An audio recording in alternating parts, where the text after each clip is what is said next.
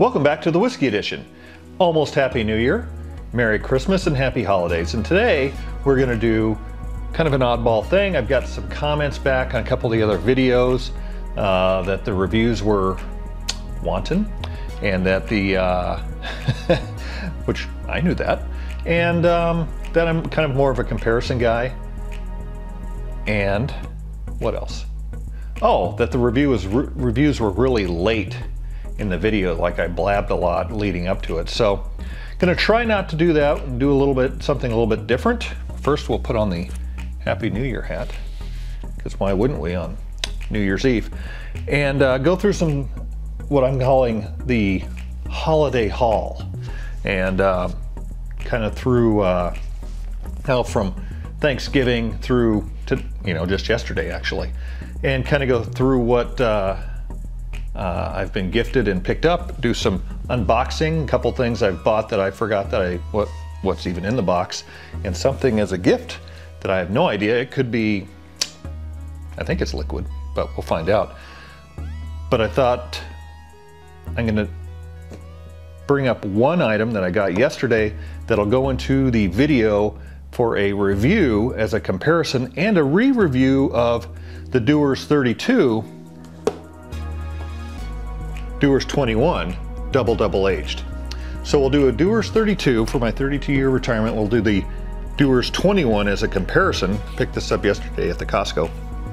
And uh, we're gonna cut to that. I'm gonna do that later because I'm gonna go sampling with some friends of mine and I didn't wanna be all, you know, after the sampling and do this all this uh, unwrapping and unboxing stuff and then do this. So I'm gonna do this after that, but before that, and then it'll all cut together and the review will be sooner in the video, which should make some people happy. I will hopefully have more notes and things to say about what is in the 32 versus in the 21. Uh, Curiosity Public did a fantastic Dewar's 32 review. They rated it very highly, and so maybe I can pull off uh, some of those um, uh, pull off some of those notes and um, some of their uh, feelings about it. They, you know, again, they rated it very, very high, like almost 100 in some cases. And so mine, I guess I just said it was smooth and hmm, not bad. But I also had had barbecue that day, and that was, I think, kind of messing up my, uh, you know, being able to get, you know, what few notes out of it that I could. Uh, so we'll do that, do a comparison to the 21. I don't know if it'll be blind or I'll just do them side by side or whatever, we'll figure out. And if it was the case where I'm gonna go do some uh, samplings and tastings with some neighbors here after a bit, and I'm not able to do it, you won't know the difference because I can do this anytime, but at least all this stuff back here will be opened this year for you. So cut to the 32. Welcome to the review booth, or the kitchen table. I preface this by saying I was going to do this a little bit out of order, just a day or so out of order, not too bad. Still have my hat on. Happy New Year's for everybody again. And I got this fancy shirt for Christmas, so rocking that. One thing I found out when I was uh, putting some stuff away from yesterday, trying to find room, was um, you can see behind me here, I have a Dewar's 32, a Dewar's 21, and you would hope it would be a Dewar's 27. It is not. It is another Dewar's 21 that I bought sometime and forgot about and stuffed it in the back of a back of a cabinet. So this will either be a backup or a or a return back.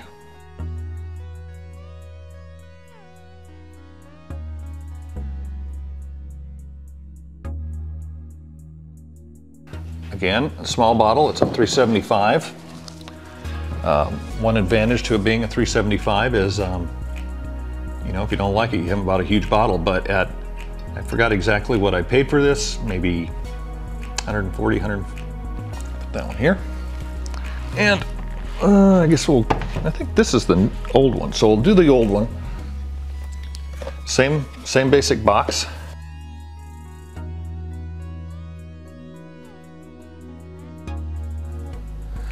Twenty-one year, and it's the same process, just uh, not as long, obviously. And then there's one in the middle, the 27, and I haven't, I, I think I may have seen that one once.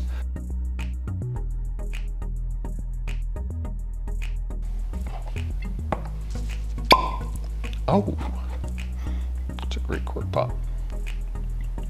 Reacquired. All right. I didn't label these.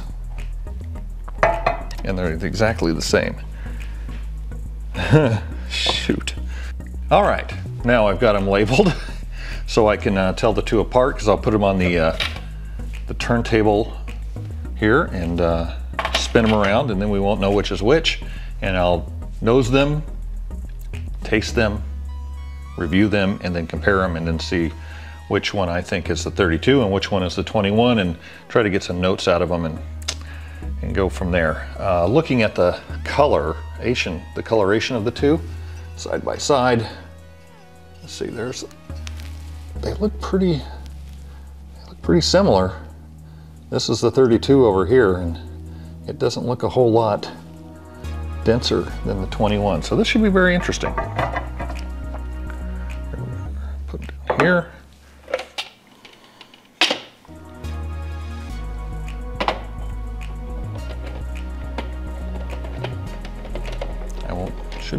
Tell which is which, even having had the other one since I'm so bad at picking up notes. But I think, again, I'm gonna say the reason I'm so bad at it is uh, that day anyway, I had had barbecue. so I was just smelling the barbecue that I hoarded uh, earlier in the day. And the, uh, I think I had a William LaRue Weller also, so I was probably a little biased with that. Okay. I don't know which is which. So we'll put these down here.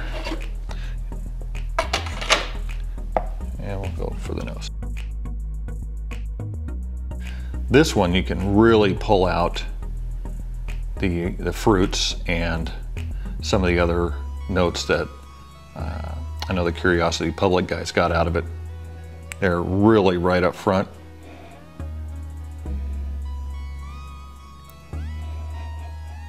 Smoke is coming out of this one a bit more. Let me go back to this. Yeah, the note, the, uh, you know, the overtones that this one has that this one doesn't is remarkable. So I, can, I can only imagine which is which, but we'll find out down the road.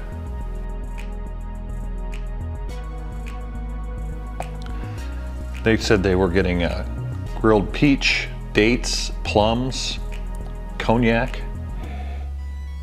They said they got some barbecue out of it. I'm like, uh, maybe that's why I couldn't smell anything but barbecue. Maybe that's all there is is barbecue, but I can definitely get the fruit tones out of it. I'm not getting a lot of spice. They call it baking spice. What is baking spice? Pepper? Salt?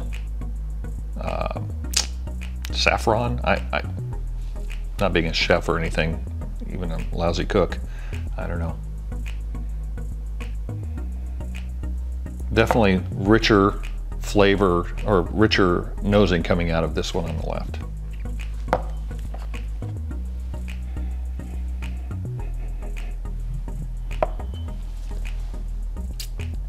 I'm gonna let these open up a little bit more. So I'll just come back in a second. Trying to be a little bit serious here. Maybe not working out so well. Definitely, I mean, a hint of plum um, or some sort of a, a fruit, you know, but um, maybe a peach, you know.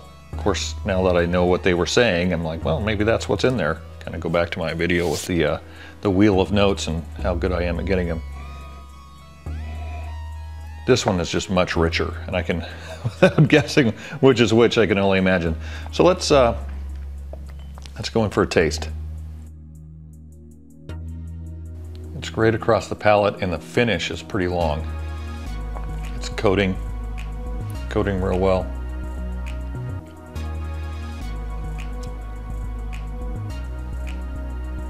Maybe there's a little bit of the peat, a little bit of the barbecue. Um, I'm not getting the fruit as much. It is still lingering, it's still hanging on. I'm gonna have to have some water in between. Of course, I didn't put any here on the table, so I'll have to go get some. Definitely the char, definitely either the peat or the charred peat. I can get that. I don't quite get cognac on it. Uh, it is a sherry finished cask. Sherry finished in a, or finished in a sherry cask. Get that in the right order. But uh, stand by. All right, let's try. I mean, this, the nose on this one is, fan, it's unbelievable.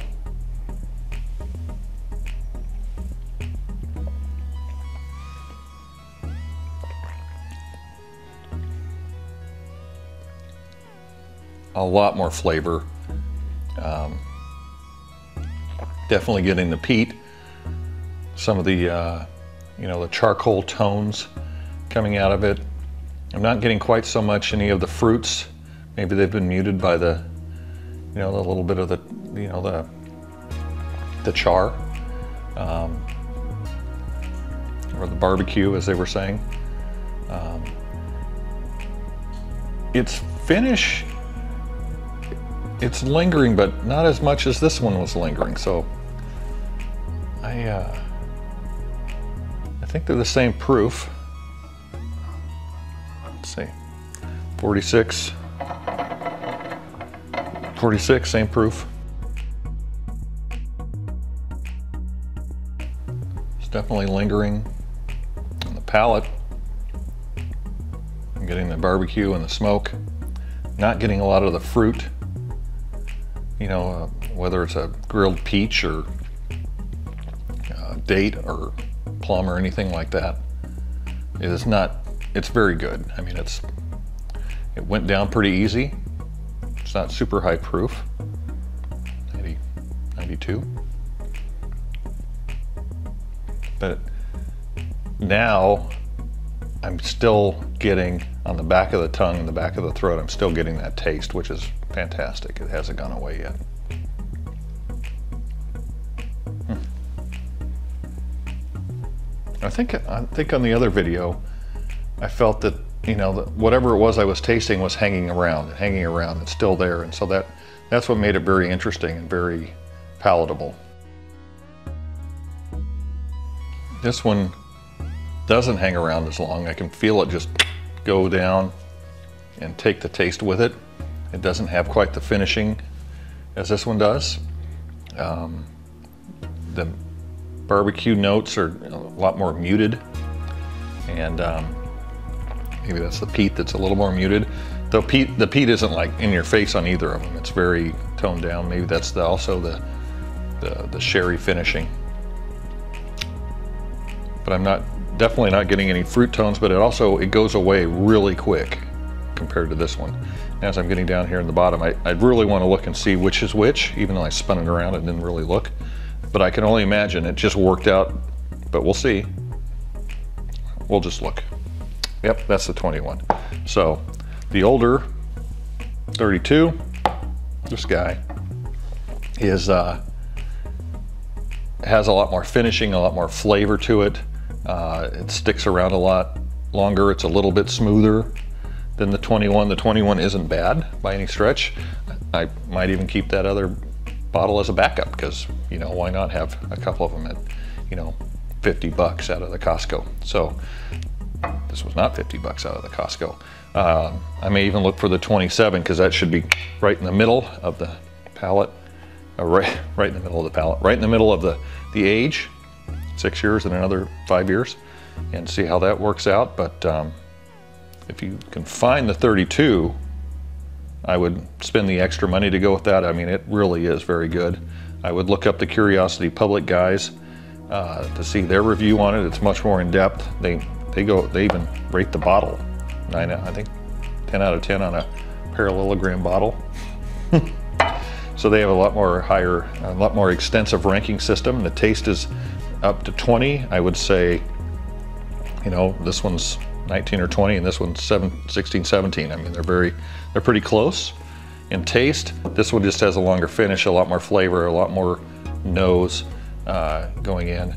And so um, I may not even pour these together like that. Would that make a 27? I don't think so. Try this again just for, just while we're here. Yeah, that smoke flavor, it's a little muted and then pow, it just, it just hits me right right after it's gone down. and hangs on. It's really, it's very interesting how that works out and it is very smooth. And so um, it's a great sipping scotch. And this process that they use, the, the double-double process, must help smooth it out in the sherry finish. And I have some other sherry or PX cask. This says it's PX cask finished, yeah. PX sherry cask. And I've got, think I've got a Breckenridge that's maybe a sherry cask. I'll have to look. Be good to do those three together and see how they play out. But the Breckenridge is not even 21 years. If it's a year, I'd be shocked. So.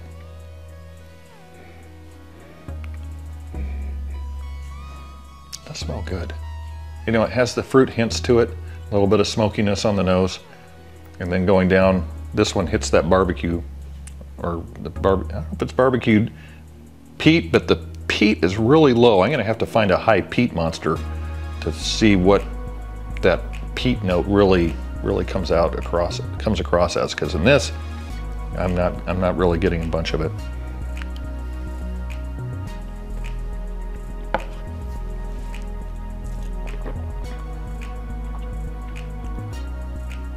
Yeah, the 32 just has so much more flavor than the 21, and uh, that's probably why it's 50 $100 more, I would say. Anyway, um, go back to the unboxing or just leave it right there. or the uh, go back to the uh, you know the rest of the video where I tear through everything that's come up over the holiday haul. And I appreciate you rewatching this or watching this for the first time, and rewatching from the previous um, less than extravagant review. Uh, hope this was a little bit better and a little bit earlier in the in the in the video. But have a very happy new year and all the best for 2022. And we're back. And I'm sure the 32 and 21 comparison that you just saw was really informative. I found the 21 at a Costco. It was probably much easier to get than a 32 is now. The 32 was kind of a pain, but I've heard people are still able to get it, though it may be a little uh, uh, higher mail order or, or you can find it in the country. Anyway, let's go through uh, some of the things I picked up. I'll almost do them in reverse order, but We'll see what comes up. Picked this up yesterday. Johnny Smoking Gun out of uh, Corktown, Detroit. I've heard so many bad things about it and I saw it on the shelf. I've seen it on the shelf at Bob's Lake City Liquor for uh, a number of years. That's not true. I've seen this on the shelf a number of months and uh, it's still there and still there. And I said, I'm just gonna get it because I had picked up my winning Bob's Lake City Liquor Woodinville Apple Stave uh, raffle pick out of Woodinville Whiskey Company. And what makes this, to me, kind of an important, um, see the color in there. What to me makes this an important bottle is not only is it a pick from Woodinville Whiskey, but it's Bob's Holiday Raffle. And for those of you not in the Pacific Northwest who don't know what Bob's Holiday Raffle is, he takes all of his, uh, maybe not all of them, but he takes the majority of his uh, high-end bottles, allocated bottles, uh, bottles that he's going to get that he hasn't gotten yet that he knows he's going to get. Anyway, he batches those up, and for 20 for a $25 gift card, you get one entry into the raffle up to five. I put in $400, four entries, and there were probably 30 to 40 allocated bottles. You know, there's probably 10 really hard to find. I think there was a Jack 10 in there and a, or a Coy Hill maybe. Um, I'm not sure if he had, I, while I rated the, I think the, there was a couple Pappies and a couple of William LaRue Wellers and uh, a Sazerac. There were seven, you know, there were some really hard to get bottles in there. There were some that I'd seen around.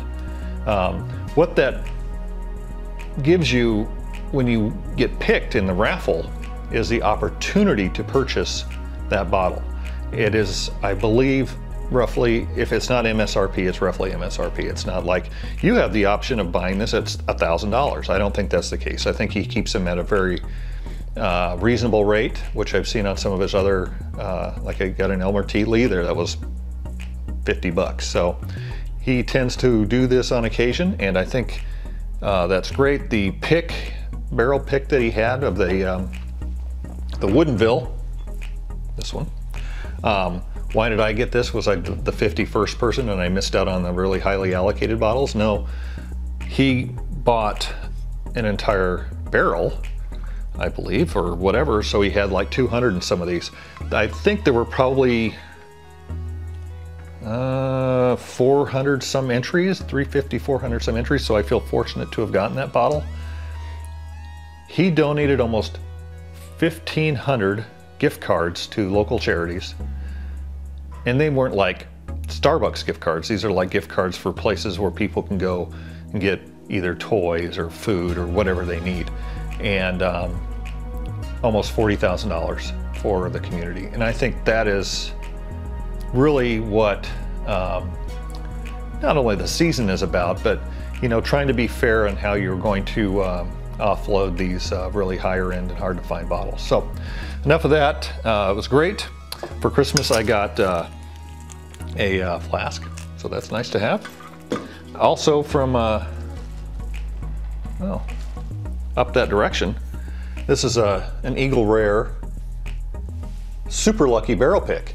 And this was marked down, it was on sale, and always nice to find something on sale for, I think it was a $50 pick, marked down from 70. So I picked up two bottles. This is what is one of these bottles is going to the uh, tasting tonight. Put that over there. I got another for Christmas. I got a uh, Woodinville whiskey, uh, just one of their straight bourbon whiskeys, 90 proof. I got that as a gift for my pseudo, pseudo secret Santa. Not really all that secret. Uh, while I oh while I was also up at Super Lucky, I picked up a Jim Beam Ghost, Ghost of Christmas Past. Didn't really say that, but that's what I'm calling it. And so it's got a little color to it. We'll uh, put that up with some of the others that I have an idea for. I've been kind of hoarding or collecting uh, the white whiskeys. What else? Uh, oh, how about this? This is a gift to me. Some uh, rocks glasses and some of these bar and shield Harley Davidson etched silhouette logo and cubes. So uh, you put the cubes, as I've done on a previous video with the granites, I may have to revisit those and see how the stainless rocks go. Um, why did I buy this along with some of the, you can't see in the background, but there's a tree, the holiday festive Christmas tree, and it's got some of the um, ornament tanks, uh, gas tanks that Harley puts out. Why did I do this? Because I'm an idiot. And if you spent $300, I also bought a battery, which I won't show you. You got this. And what is this? Who cannot not have? If you're a Harley guy or a Harley person, another box. Oh, it says Jet City Harley Davidson at the bottom. I didn't even realize that. A box with a Harley Davidson decanter. So I'll make this uh, likely one of my infinity bottles. Thought that was kind of a neat presentation. Heavy duty. This, uh, this for the drop test might actually survive. Talk about heavy duty. So I'll make this into a uh, Infinity, Harley Infinity bottle, but had to spend a bunch of money to get it, but uh, I bought a bunch of bourbon stuff for it, so that worked out okay. Some of the other things I picked up. Everybody knows what this box looks like. Get this out of the way.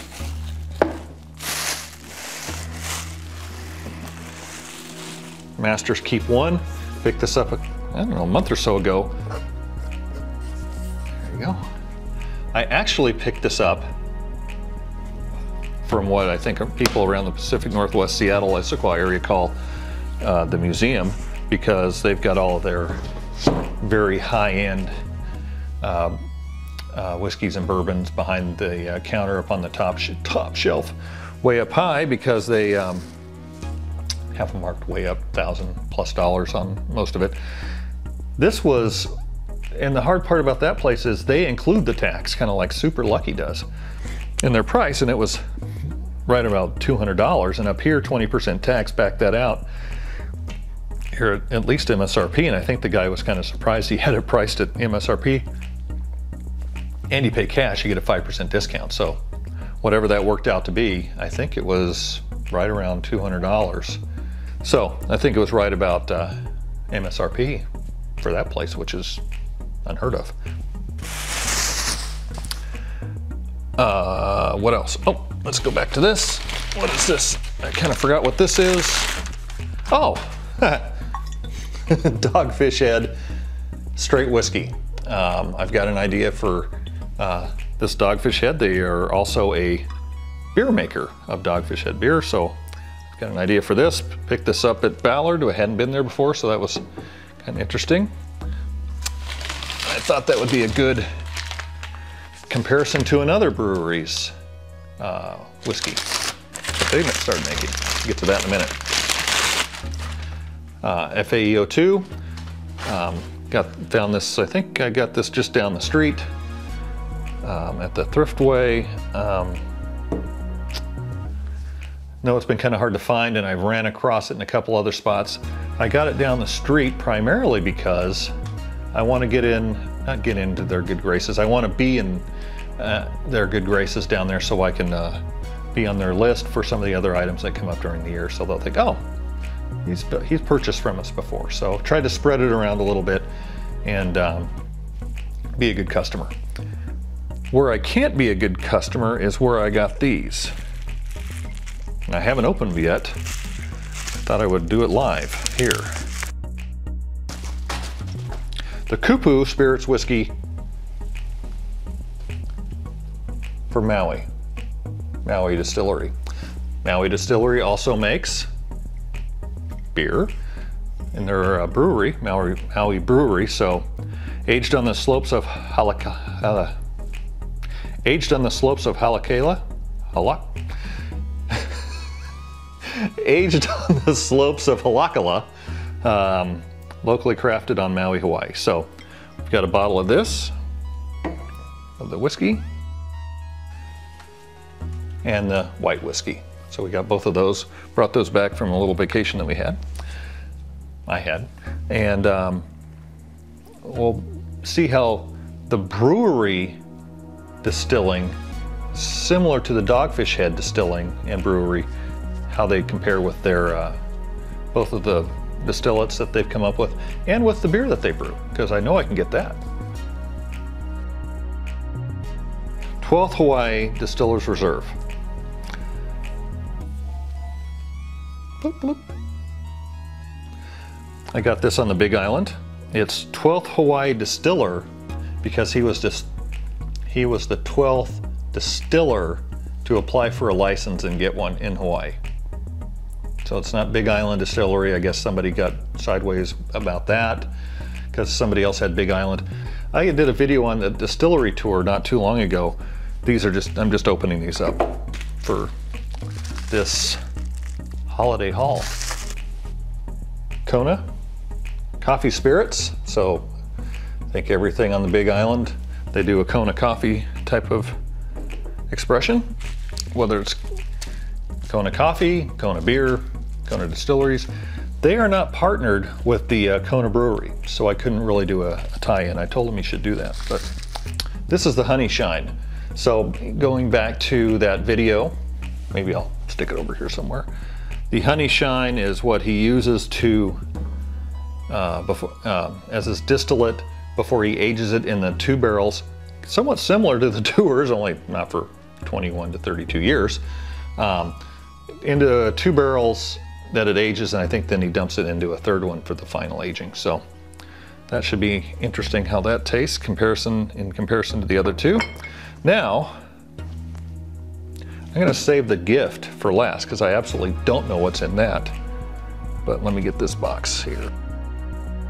But it did come in the holiday haul time frame, which did not include the summer haul or the fall haul. I guess it was the fall haul. Summer haul, fall haul. 93 proof Yellowstone. I thought uh, the Yellowstone TV show was, um, I haven't watched any of it, but maybe you know, this will be a good thing to watch it with. I know some people are doing that and I've heard some reviews are like on it, so we'll see.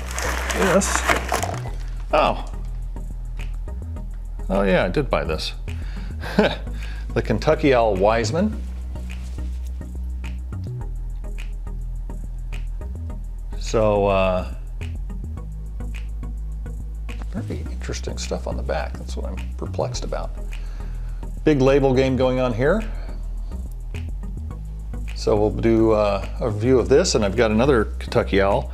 None of the big expensive ones, only the cheap ones, which is kind of what this is. So we'll see how this um, stacks up against the other not very expensive Kentucky Owl. Aha!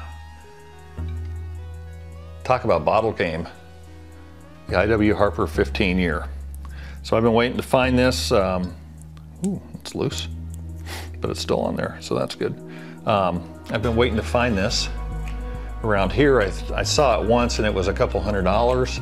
Uh, LuxLife had it pretty much at MSRP.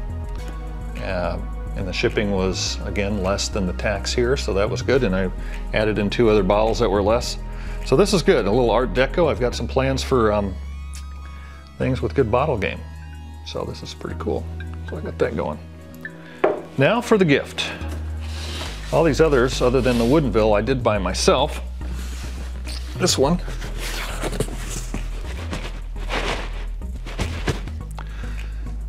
If I cut it right after this, you'll know it wasn't liquid. But it says it's from a wine fulfillment center. I hope it's not wine. Oh, look at this. Fantastic. This is from my sister and family in Colorado. Stranahan's Blue Peak, single malt. Solera finish, rich and mellow.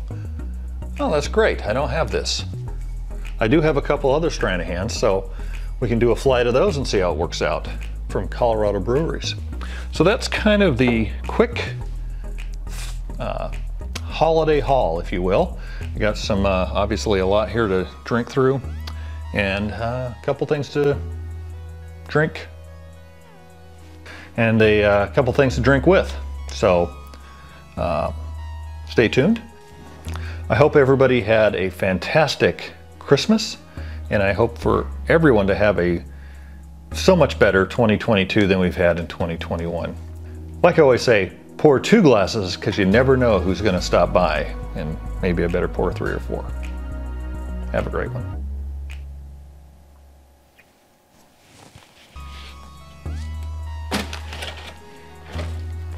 What a mess.